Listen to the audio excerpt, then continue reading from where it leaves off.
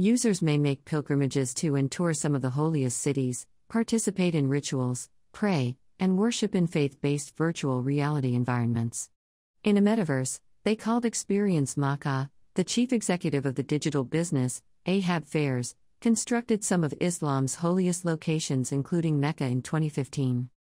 The Holy City, which was created in 2015, enables visitors to follow Orthodox clerics as they leave the Church of the Holy Sepulchre during the Holy Fire ceremony, slip a prayer card into a crevice in the western wall, or retrace the steps of tens of thousands of Ramadan worshippers at the Al Aqsa Mosque.